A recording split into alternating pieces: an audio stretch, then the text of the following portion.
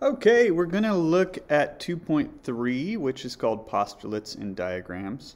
Um, all right, um, so let's name this plane using one letter. You can you name planes using three points that are that are on a plane. So you could call this plane ABC, but then I wouldn't be naming it using one letter.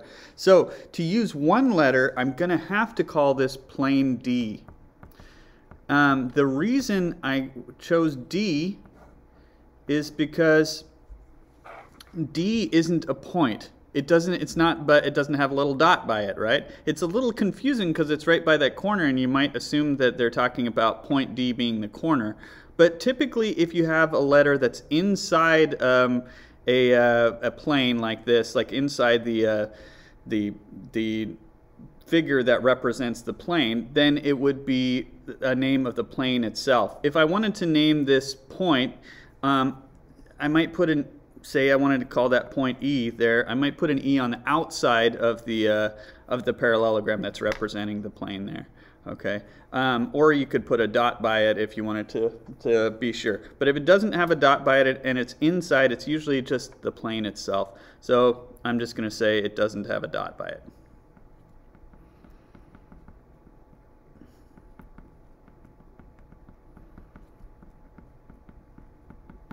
Okay, all right, then we've got a bunch of postulates here in this section, and the first one is called the two-point postulate. And this just says through any two, two points, there is exactly one line. Okay, so if I'm going to draw two random points over here, okay, here's two random points, there's only going to be one line that goes through both of those points. It would look something like this, right? just freehanding it there, but yeah, only one line connects those two points. You could say that two points determine a line is another way you can think about that idea, okay? Um, the line point postulate, a line contains at least two points. I'm going to be honest with this one. I never really, I mean, yeah, it contains two points. It contains many more than two points. I don't understand how that's useful, but it's in the book, and there it is. That's the line point postulate. Okay, the line intersection postulate says that if two lines intersect, then they're going to intersect at exactly one point.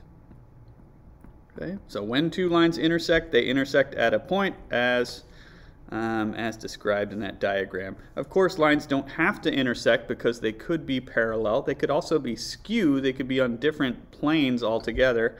Um, but when they do intersect, they're going to intersect at one point. All right, the three-point postulate. Through any three non-collinear points, there exists exactly one plane.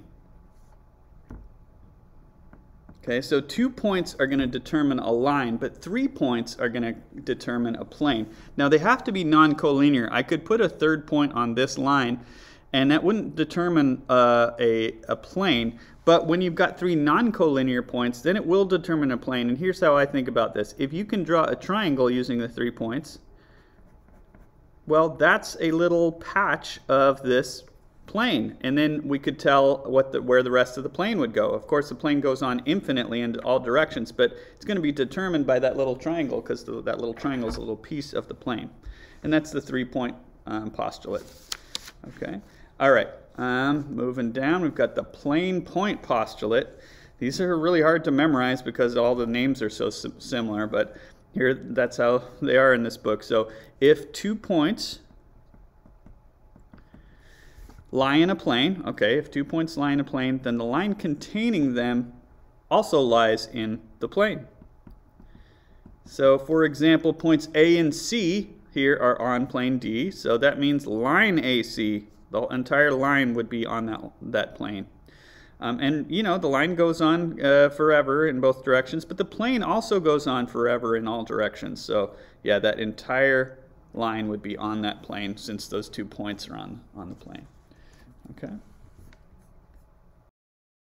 Okay, on the next page, our last postulate here is called the plane intersection postulate. And uh, so we talked earlier about how if two lines intersect, they're going to intersect at a point. If two planes intersect, then they're going to intersect at um, a line, okay?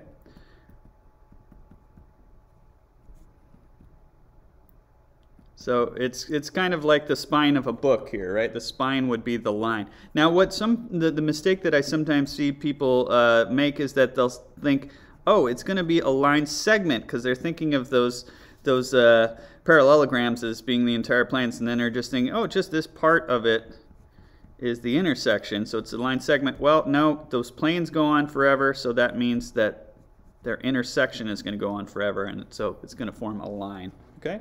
So two lines intersect at a point, two planes intersect at a line. Okay, and then we're going to use this diagram to, uh, to write a bunch of examples of these different postulates. Um, okay, so the two-point postulate, you might want to have that previous page in front of you. So two-point postulate says through any two points there exists exactly one line. So I just need to pick I'm going to pick uh, one of the lines that's drawn on this diagram, and I'll choose two points from it. So uh, I'm just going to say through, um, I'll, I'll, pick, well, I'll pick uh, J and K, maybe, the, that line's going through. So I'm going to say through points J and K lies line JK.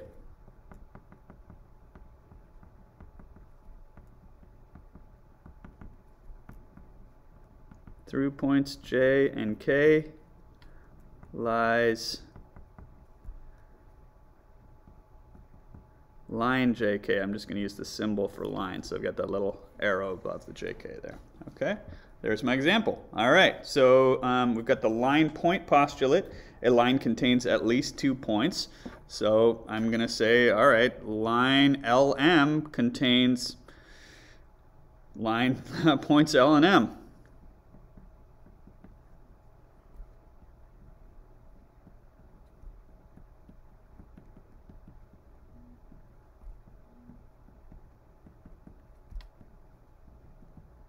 So there's at least two points. So, you know, K's on there as well, and many other unnamed points are on that line as well. Okay, line intersection postulate. This just says um, when two lines intersect, they intersect at a single point. So the two lines I have graphed here uh, are, are going to intersect at point K. So I'll say um, line LM. Oh, and I wrote out the word line that one time for some reason. Line LM and um, well, make this lines LM and JN.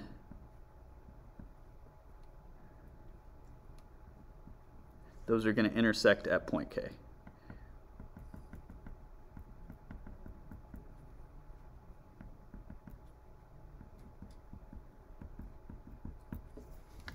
Okay, it's the only place they intersect. All right, the three-point postulate says that uh, through any three non-collinear points, there exists exactly one plane. So what I want to do here is pick three points that are non-collinear. And you could really pick any three points in this diagram, but I want to pick either three points that are on plane R or on plane S. You could mix and match, but then we'd get a plane that's not one of the planes that's pictured. So just to make it a little easier to, uh, I'll, I'll, choose, uh, I'll choose these three. So if, uh, if I, I can connect those three and I get a triangle, so then I know they're non-collinear, they're not in a straight line, right? So I wouldn't want to choose J, K, and N, for example, um, because those are collinear. But these are non-collinear, so I've got a little patch of, of um, plane R, so I'm going to say that, um, that those three points determine plane R.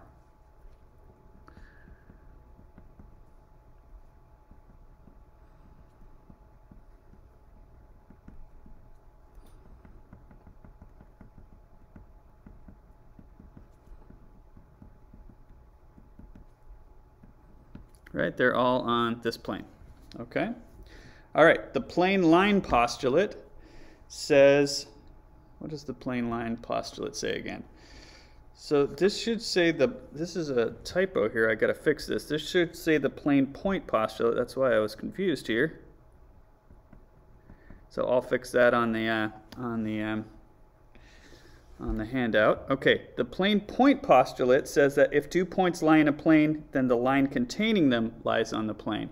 So, um, all right, so points, uh, for example, points J and N um, are on plane S, so that means line JN is going to be on plane S.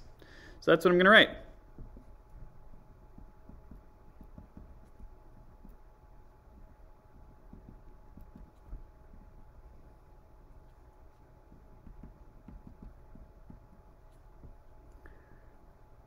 Points J and N are on plane S.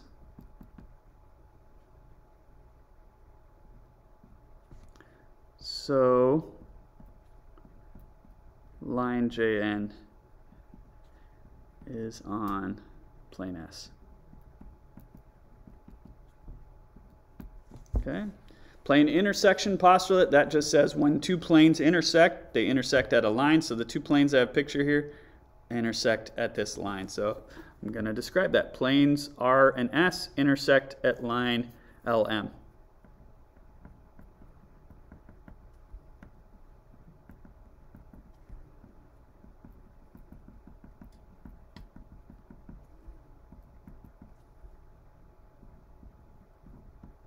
Okay, and there's my examples of all those. Okay, for the next set of questions, I'm going to use this same diagram, and I've got kind of some true or false questions. They're not exactly true or false because I'm just um, going to determine whether I can um, whether I can assume the statement is true based on on the diagram. Okay, so let's just read through these. Planes R and, and S are going to intersect at LM. Well, yeah, they do. That's what I just said that right there, right? These two planes intersect at that. So yes, I can assume that that's true.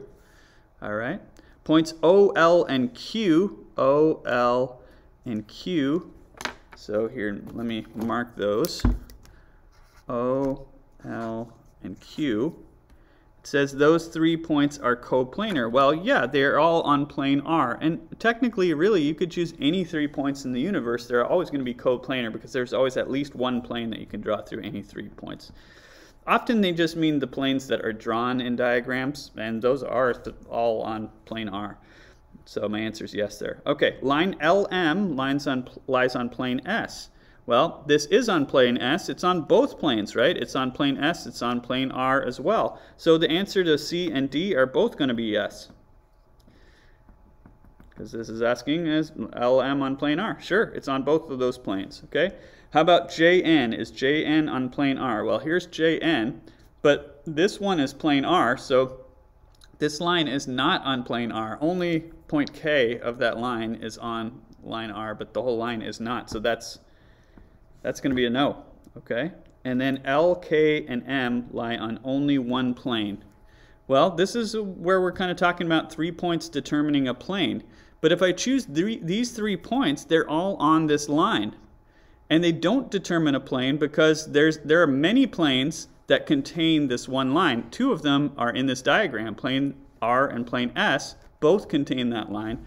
So no, they're on they're on actually an infinite amount of planes because I could take any of these planes and kind of swivel it along that line and get another plane that works. Um, but you can see the two that are pictured there, so definitely not one. There's an infinite amount of planes that that uh, that contain that line. Okay, and that's the end of the section, and I'll see you next time.